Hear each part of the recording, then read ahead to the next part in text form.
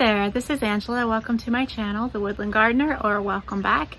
Thanks for stopping in. This is another one of my weekly garden updates, although this one's kind of short because I didn't do too much in the garden this weekend.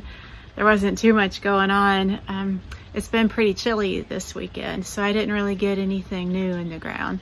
I did have my corn pop up, so that's good. And some of the beans have sprouted and other than that, I think like a large amount of activity is gonna happen next week. So I hope you enjoy. Thanks. Hey there, it's Monday, May 3rd, and I decided to go ahead and get a bunch of my tomato seedlings in. So they're going mostly in grow bags. That's what I'm working on tonight. And then some of the other ones I'll have to just find places here and there to tuck them in. I ended up getting 13 plants in, so that's one of each variety that I have we're still very much in like grief mode from losing our Trixie dog last week.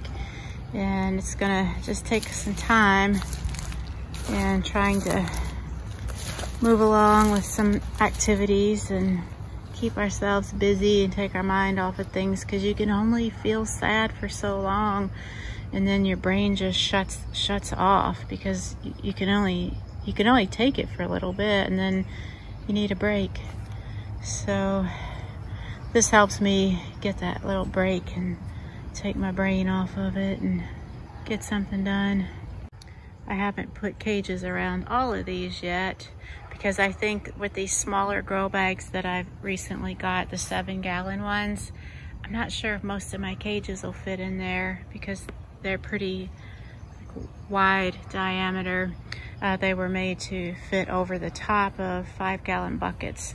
So if those won't fit, I'm gonna have to figure out a plan B and maybe just use stakes and then tie the tomatoes to the stakes because making these cages was hard.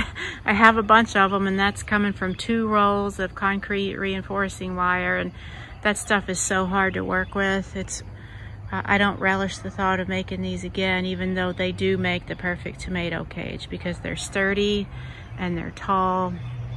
But I'm gonna try to avoid having to make any more of those. So that's gonna be it for today. Tomorrow I'm gonna come back out and put some fertilizer, just a slow release all-purpose fertilizer um, in each of the grow bags and then use the shredded leaves for a mulch. Thanks for hanging out with me tonight and I'll probably be back out tomorrow. Hey there, it's Tuesday, May 4th, and we've had a lot of rain today and I don't think it's done. I'm kind of taking a little break to step out and see how the garden's going after all that rain and see if any of my seeds have popped up. It looks like the rain's been good for these Boro beets. Little seedlings are growing, getting big, and I've got some bean seeds coming up. I love seeing the little seedlings pop up out of the ground. It's so cool. This one here, oh, it's really firm. I don't want to push it too hard. That one is Dragon Tongue. And I have another one, Gold Rush, that's popping up. I saw that one yesterday, so that one should be standing upright on its own here soon, I think. And so far, nothing yet with all my corn that I've planted. I wouldn't think that would take so long to sprout, but maybe it does. It's been a couple years since I've grown it and I can't quite remember. And all my tomato seedlings that I got in last night are looking good. They've gotten, I watered them in pretty good, but I'm sure they're loving today. They got a lot of rain and it's overcast, so it's a good time for them to get settled in without sun beating down on them yet. So I'm really happy about that. They look good. One thing I didn't do last night when I got them in, because I was kind of trying to hurry, was to add some fertilizer, which I will do today, and then add a good thick layer of shredded leaves to act as a mulch. So I might be back out here a little bit later today and check in again when I get that fertilizer on the tomato plants. Otherwise, I'll be back tomorrow. Hey there, it's Wednesday, May 5th, and I'm just out here in the garden checking on things. Haven't done too much in the garden because we are expected to get a cold spell uh, starting like last night and the next few nights will be pretty cold so I'm gonna hold off getting anything else in the ground so I'm just kind of checking on things and seeing if any new seeds have popped up and how everything's doing. In this back bed right here where I planted a couple of bush beans, it looks like one of them has sprouted. two, it looks feels like there's two of them. So I think I put, this is Jacob's cattle. And I had planted, for all my beans, I had planted two beans per hole or whatever, just, just as insurance in case one of them didn't germinate. Yeah, tomatoes are still looking good. The ones I went ahead and got in early just to see how they would weather with this cold snap coming up. And I have a, a lot of extra seedlings, so I have some to experiment with. And the cabbages are looking good. So you can see them pretty well through the netting. Yeah, they're looking good. I think this netting, knock on wood, is doing the trick. Not a whole lot of other changes. The leafy greens like spinach, kale, chard, collard greens, mustards, those are still very, very small, but they're growing. All the rain we've had lately is definitely helping with that.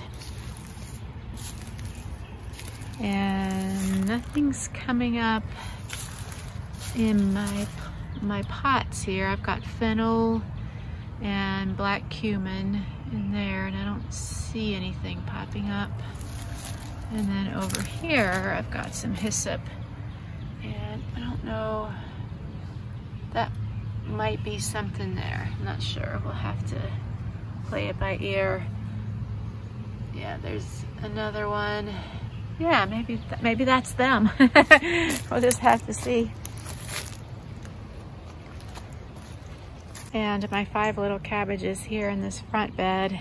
They're not doing quite as well. I got those in a lot later and it looks like something had started to munch on those and I ended up having to yank a few of them out and replace them with some spares that I had. But I don't know, at this point they're so small, I'm not sure if they're gonna amount to much. So we'll let it play out and see and if, if they don't, I can always put something else there. So I do a lot of vegetable gardening, no doubt, but my first kind of entry level into gardening was with landscaping and shrubs and flowery kind of plants.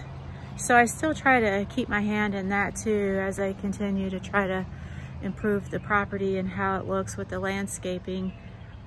So over here, flip it around. I have some Solomon seals growing and these are beautiful and they produce these little tiny hanging blossoms, the little white flowers like going all along the, um, the stems there.